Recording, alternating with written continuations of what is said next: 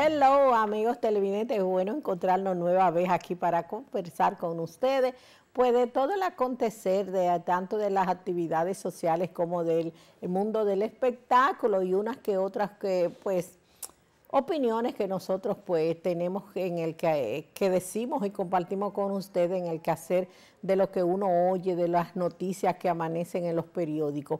Eh, antes de todo, señor director, vamos a decir la la actividad número uno, que es que tenemos ahí una, teníamos una rueda de prensa con el Festival de Cine Dominicano y ha sido pospuesta, tenemos que decirlo al inicio, para que sepan que esa, eh, ahí la ven ustedes, esa actividad que teníamos eh, nuestro colega Severo Rivera, que nos había mandado todas las informaciones, nos explica ahora que este eh, de rueda de prensa del Festival de Cine Global que es para, como ven ustedes ahí, era para mañana, ha sido pospuesta.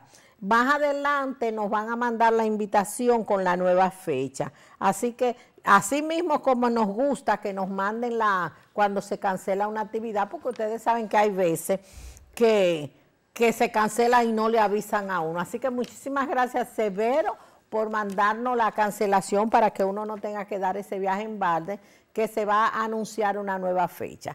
Y inmediatamente, hablándole de nuestro comentario, a una noticia que acaparó los titulares de los periódicos esta mañana, es la eliminación del anticipo a las micros y pequeñas empresas.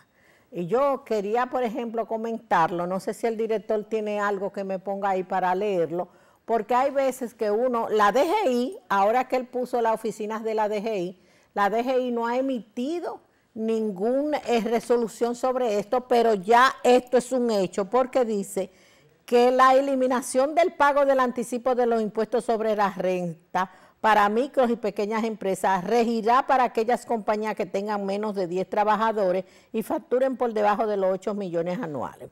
Esto lo dijo el director del Consejo Nacional de Competitividad, Rafael Paz, y dijo, se lo expresó al periódico matutino Diario Libre, eh, que dice que esos parámetros quedarán plasmados en una normativa específica que van a publicar más adelante por la DGI, por la Dirección General de Impuestos, en la que se va a explicar todos los detalles y el mecanismo para esas empresas. Esta entidad tributaria está finalizando esta revisión de esta base legal para sustentarla en la medida para avanzar en una aplicación que debería poner en vigencia en este mes. Ahora, yo, ustedes saben que cada cual tiene su, tiene su, ¿cómo se va a decir? Ah, sus actitudes, sus talentos, sus virtudes. A mí nunca ha sido eso de número ni, ni de contabilidad. Pero yo sí digo que si ahí no menciona a las personas físicas que hemos estado atacadas últimamente por la DGI, a los exclusivos de bloquearlo en pleno diciembre nuestra facturación, que no podemos sacar ni facturar dinero ni, ni, firmar contrato, por simple eh, inconsistencia que ellos encuentran. Si esas son las microempresas que tienen menos de 6 a 10 empleados, que bien lo dijo Tommy aquí cuando lo entrevistamos para su curso taller, que dicho sea de paso, voy a decirle que está lleno, nada más faltan creo que dos cupos, así que llene, llámese a, a Voz Spay para que usted, o a Tommy, arroba Tommy Terrero, para que usted sea esos dos que faltan nada más, que para que se complete, pues ese taller empieza mañana.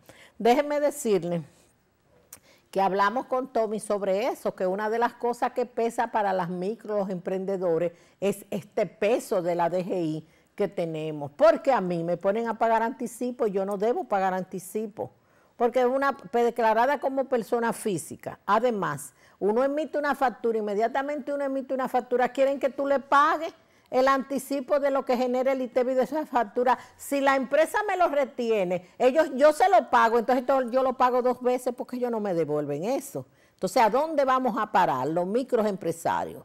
Entonces, esa ley, qué bueno que va a entrar en vigencia ya en este mes, pero que aclaren también que lo que van a hacer a los micro, micro empresarios es que no solamente eso que tengan empleados, sino aquellos que tengan una microempresa con un solo empleado y que, y, que usted no tenga que pagar anticipo, porque si eso la microempresa de 6 empleados hasta 10, que le van a suspender los anticipos, yo pienso que a la persona sola, la persona no debemos pagar nada de eso de anticipo, porque como le dije, uno factura y emite la factura a una publicitaria o a quien le ponga a usted el comercial, pero usted no viene cobrando hasta cuatro meses, porque es otra cosa de los comerciales, que uno puede tener muchos comerciales, pero usted factura ese mes, a final de mes, usted factura esos comerciales, pero se le juntan hasta ocho meses y no le pagan.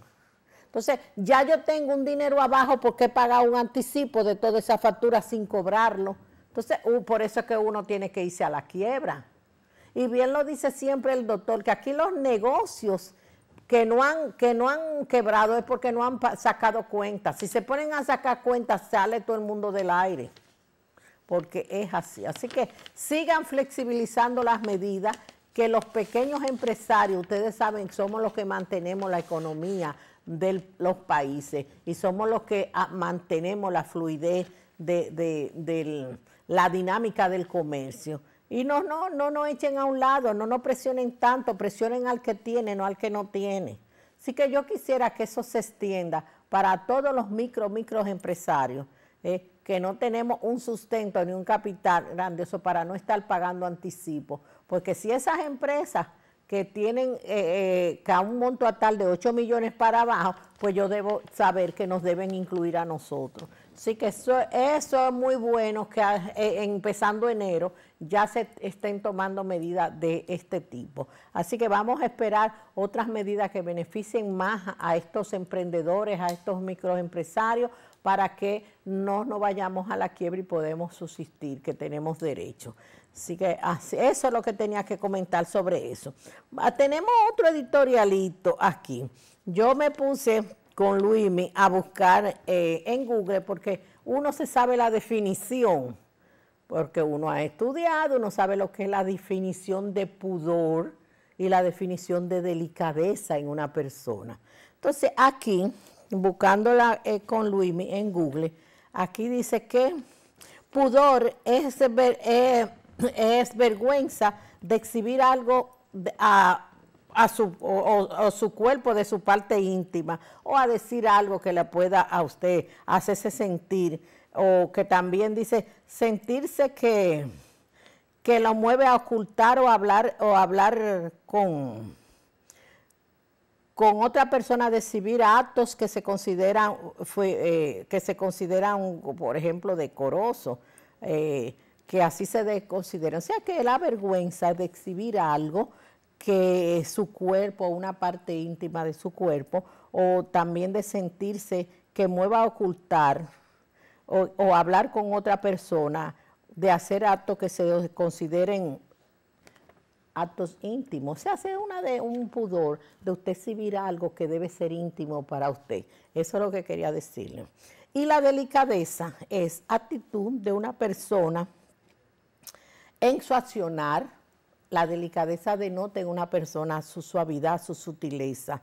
Así que todas estas cosas y el accionar de una persona que en sus modales sean firmes, que se considere una persona fina, delicada, en todo su accionar. Digo esto porque no ha pasado una vez, creo que esto, este comentario lo hice hace unos años atrás, pero cada vez que ocurre una, un acto como este, y me voy a dirigir tanto al hombre como a la mujer, y yo anoté por ahí, en, un, en unas cosas, que hay un, escrito histórico que dice de una persona en una batalla que dice, todo se ha perdido menos el honor.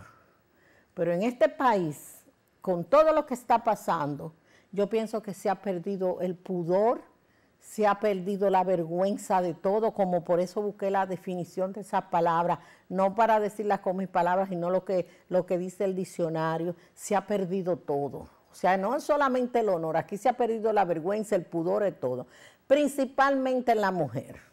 Porque también me voy a, decir a los hombres que no están escapo de eso. Es muy desagradable, y más cuando hay un baño que es, que es único, tanto para hombre o para mujer, que si entra una dama y tiene su menstruación, que se limpie y deje el papel completamente lleno de líquido menstrual, que dicho sea sangre, expuesto en la papelera. Eso deja mucho decir de la delicadeza y del pudor de una dama.